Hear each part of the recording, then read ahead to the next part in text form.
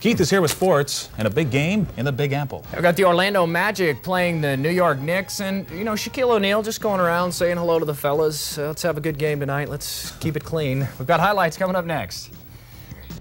The Iowa Cubs won a championship last year for many reasons, but avoiding losing streaks was a big one. Trying to prevent a three-game home slide tonight, and the Cubs battle more than Indianapolis. Tommy Shields looks like he's shagging fly balls in a wind tunnel, but he makes the catch.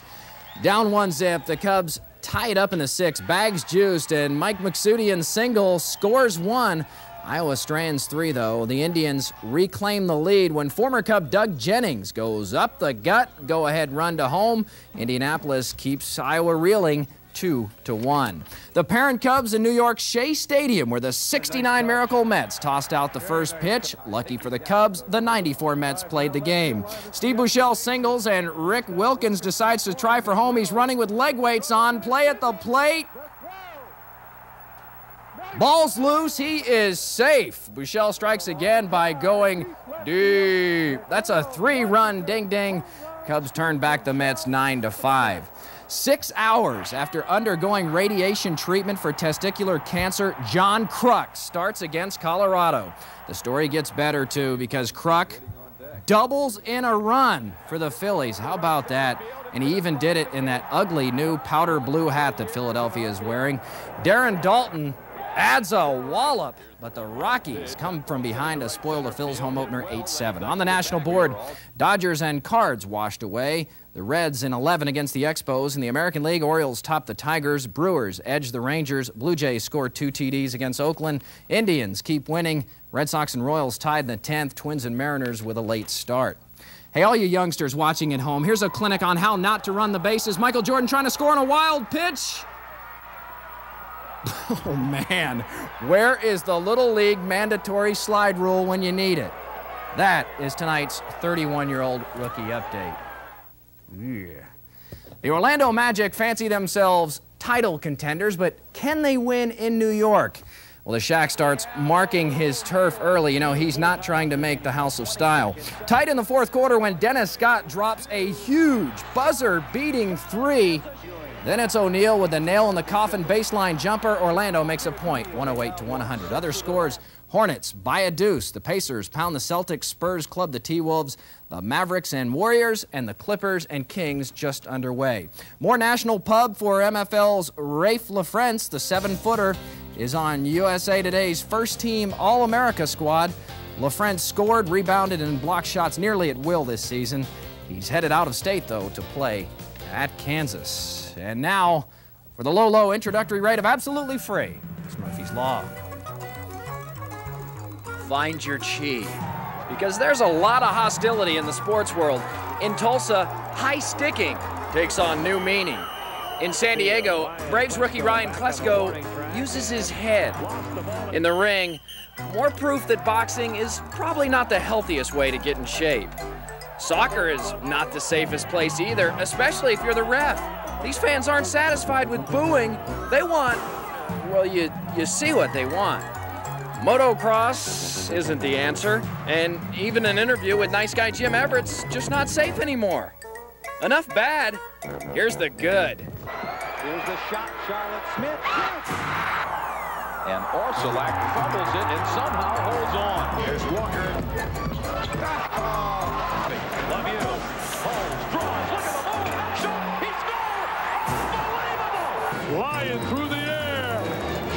Jordan. Is that how you say it? Jordan S? Trying to get close for a possible far putt. But instead, he jams it in. Stoudamire, they gave him the three. Well down to Mullen, back oh, to well. Finally, it was a long weekend, but thanks to all of you for helping raise more than $3 million for the children of Iowa. That's Murphy's Law. I was, I was on for like 12 hours. Any shot, I could pick from. I've, I've got to see that one again. I think everyone would agree. It was a tough shift, 7 p.m. to 7 a.m. You and Rick Mitchell. It was a fun shift. I'm glad to work that. I want to do that again. I heard somebody did the theme to Gilligan's Island for That- some money. Was that true? That was Rick. I, I took the high road the whole morning. Hey, it raised money for Iowa's kids. When we come back, we're going to take a, another look at the exciting. President Bush uh, did not like broccoli. Didn't care for it. Yeah. Hey, in sports tonight, I know it's early in the Major League season, but there was a big game tonight. In the 100 plus year history of Major League Baseball, this was the biggest regular. Uh, no, that's exaggerating. Big game, though, coming up next. It's a good night to spend inside, so let's visit the ice arena for a playoff showdown between the Bucks and Omaha. Series tied at one, but Crazy Larry wears his lucky tee. Nice look. Bucks up two to one in the second when Omaha's Ken Hemingway blasts into the net on the power play, tied at two. Bucks answer before the period ends. Dan Davies drops it in the slot for Nick Kruger, and he one times it. The Bucks hang on to win a big one, five to four. The iCubs lost an afternoon game to the Rain and a relief pitcher to Chicago today.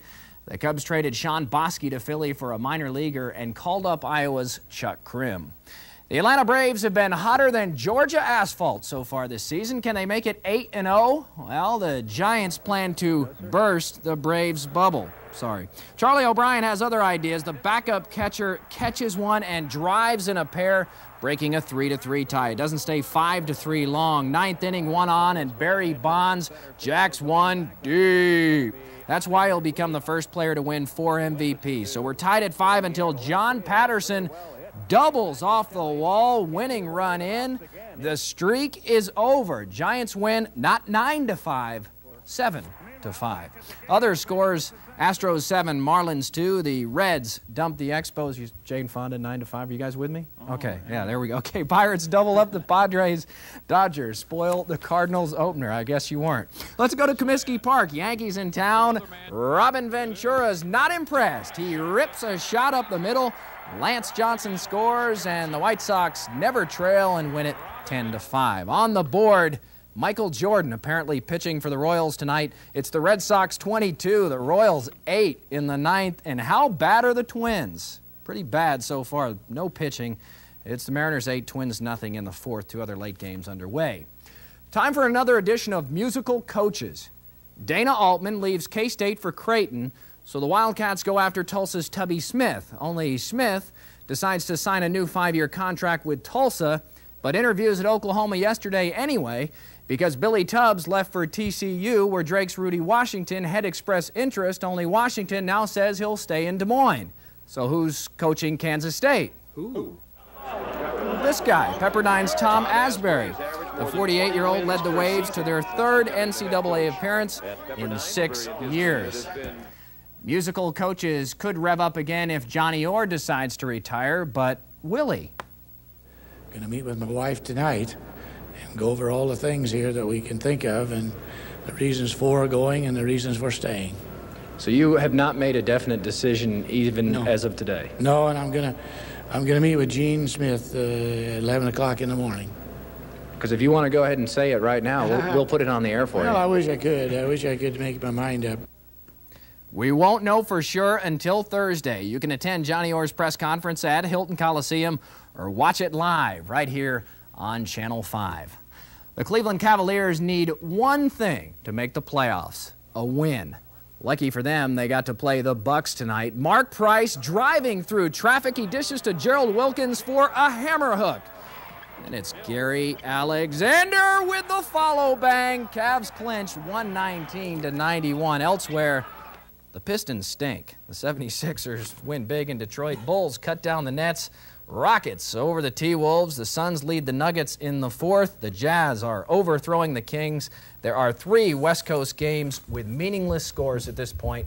Nothing much more meaningless in sports than a first quarter NBA score. And what's the deal with the Twins? What's going on there? The Twins have no pitching. That's the deal. You may be pitching for the Twins by the end of the week. If they need me, I'll be going up to the Twin Cities, right? When we come back, the championship. Well, you probably know today's April Fool's Day, but I'm not going to try and convince you Michael Jordan's the next Cyclone basketball coach or that Rod Fowler anchors in his shorts.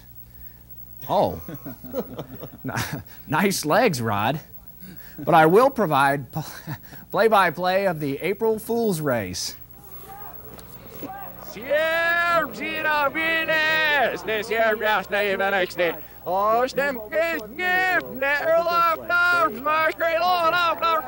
Oh, our face, you're no true fucking our far is. You know, I think that's some of the best play-by-play I've Yeah, ever it wasn't done, bad. but, but also some of the most challenging. And uh, can we get a cam? I guess there's not really a camera in, in position. You'll just you'll just have to take my word for it. You think I've got shorts on, huh? Wouldn't you like to know? Tuesday night, the calls. Last night, the drawing. Tonight, the delivery. Well, this is it.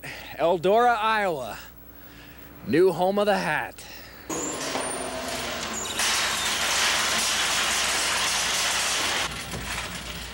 I'm so nervous. Hi, is there a, a Jackie Wilson here? Yeah, she sure is. She's right back here. Jackie? Yeah, hi. How about them Cowboys? You bet. Go Cowboys. There it is. All right. The hat. You bet. Throw that thing on. Yahoo!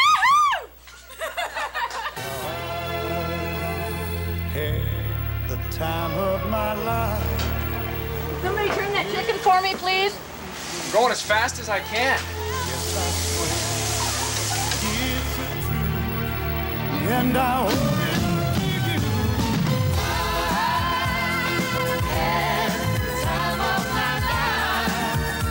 That is great, isn't it? And just in case you've been following this soap opera, that was the final episode of The Hat.